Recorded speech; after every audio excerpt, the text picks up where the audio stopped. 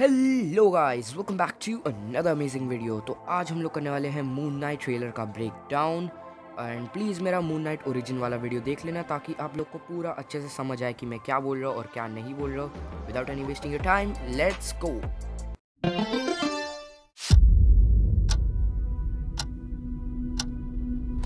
Hello, and welcome to Staying Awake. I have a sleeping disorder. I can't tell the difference. Between my waking life and dreams. Hello, and welcome to. Well well, अगर हम लोग ये scene अच्छे से देखेंगे तो हम लोग को दिखेगा कि मार्क सोने की कोशिश नहीं कर रहा है वैसे मैंने ये बताया था अपने ओरिजिन वीडियो में कि इसको डिसोसिएटिव आइडेंटिटी डिसऑर्डर है मैंने एक्चुअली वहाँ पे मल्टीपल पर्सनैलिटी डिसऑर्डर बोल दिया था वो गलत बोल दिया था सॉरी तो बट यहाँ पे इसीलिए वो नहीं सोना चाहता क्योंकि उसको भी नहीं मालूम भी कि वो कौन सी आइडेंटिटी लेके उठेगा और कहाँ पे वो जगेगा तो इसीलिए वो अब सोना नहीं चाहता है। और इसलिए उसने अपने आप को बेड से बाँध के भी रखा है।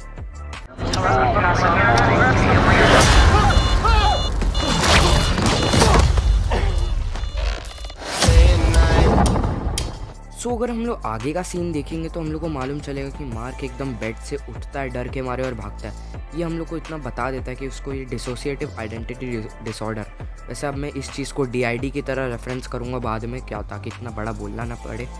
तो उसको इस चीज़ से इतना डर है कि वो खुद को बेड से बांधता है और जब भी उठता है तो डर के मारे वो भागने ही लग जाता है। I'm losing it. Well well, पूरे सीन से हम लोग को इतना पहले बता दिया गया है कि मून नाइट का जो ये पूरा सीरीज़ है ये पूरा लंदन में बेस होगा।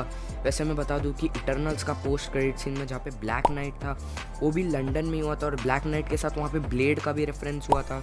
रेफरेंस नहीं मतलब ब्लेड आया ही था पोस्ट क्रेडिट सीन में वो भी लंदन में हुआ था।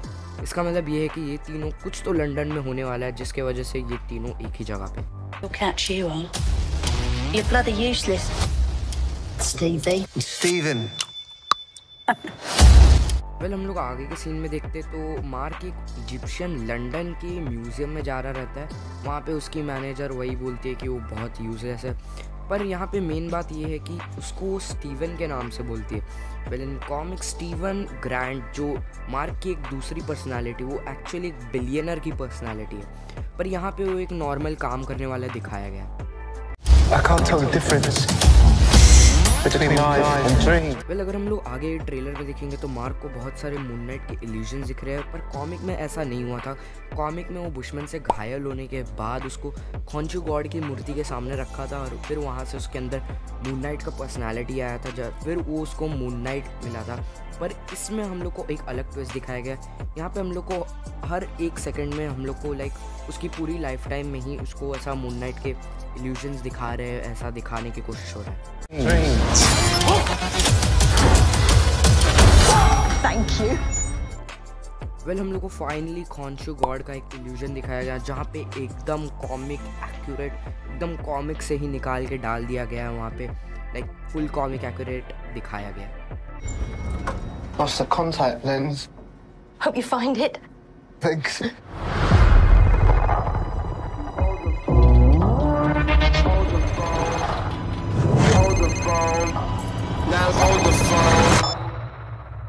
Yeah. Oh my god, you're alive. What's wrong with you, Mark?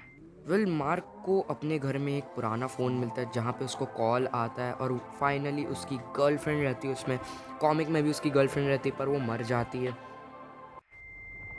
Why did you call me Mark? It must be very difficult.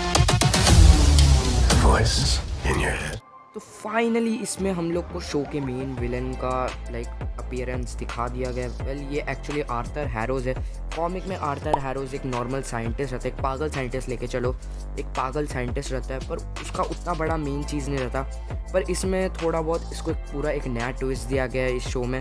Like ऐसा दिखाया गया कि वो कल्ट का लीडर है या ऐसा कुछ। Chaos in you. वेल ये सीन में अगर हम लोग देखेंगे तो मार्क बहुत कंफ्यूज है कि उसके हाथ में गन कैसे आई। वेल मेरा हिसाब से यही हो सकता है कि उसने एक दूसरे पर्सनालिटी में ट्रांसफॉर्मेशन ले लिया होगा वो टाइम पे। लाइक स्टीवन ग्रैंड की पर्सनालिटी में रहेगा वो। एंड जब वैसे ही स्टीवन ग्रैंड का पर्सनालिटी हटा रहेगा, तब वो मार्क की पर्सनालिटी में आया रहेगा। और वो इसलिए शौक रहेगा मार्क की उसके हाथ में गन कैसा आया और वो यहाँ पर कैसे पहुँचा, जो उसने पहले भी बताया था अपने डीआईडी वाले चीज़ का।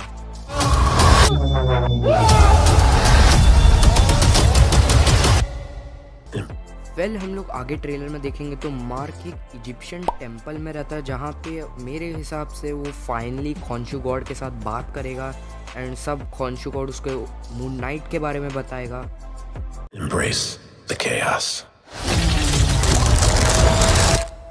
Well well, हम लोग अगर ये सीन देखेंगे तो मार्क अपना मून नाइट का सूटअप ले रहा है वेल well, इसको थोड़ा बहुत इजिप्शियन मम्मी वाला जो रोप नहीं होता उसका टच दिया गया।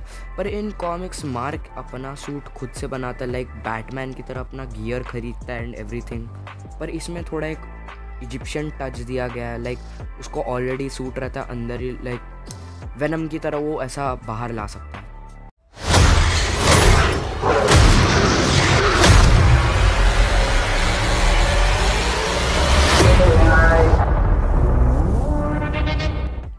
फिर ये फ़ेमस मून नाइट का मारते हुए वो जो सीन है वो फ़ेमस सीन हम लोग को दिखाया जाता है। वेल well, इंटरनेट पे एक रूमर ऐसा चल रहा है कि ये वेयरवुल्फ की जगह कोई तो डीमन है। मुझे भी लगता है कि ये कोई डीमन ही हो सकता है वेयरवुल्फ को इतना जल्दी नहीं लाएँगे। But there are also chances कि वेयरवुल्फ को भी लाए क्योंकि मून नाइट का सबसे पहला मिशन ही या सबसे पहला अपियरेंस ही उसका वेयरवुल्फ के कॉमिक्स में हुआ था। मुझे भी यही लगता है कि ये वेयरवुल्फ हो सकता है। वेल well, अगर आपको ये वीडियो अच्छा लगा रहेगा तो प्लीज़ लाइक शेयर और सब्सक्राइब कर देना और घंटा भी दबा देना वो ताकि आपको नए नए वीडियोस मिलते रहे आते रहे। एंड ये मिलता हूँ आपको नेक्स्ट वीडियो में। Bye that you gotta acquire तुझ में नहीं तो किया घोष राइटर हायर रिटन बाय धीरूमोन पिच यूर लायर जूते तेरे कंटेंट की तरह फ़र्स्ट कॉपी प्लीज़ चेंज कर ले अपनी रैपिंग की हॉबी लौड़ा फंसा कले में ही लाइक स्लॉपी तभी जब तू मुँह खोले यू साउंड सो चौपी तेरे मेरे बीच में भी लंबा है फासला। बीट पे मैं स्पिट करता, तू बीट पे हाफ़ था काश तेरा बाप तुझे बचपन में मारता तो आशा है छुपने की जगह नहीं तलाशता।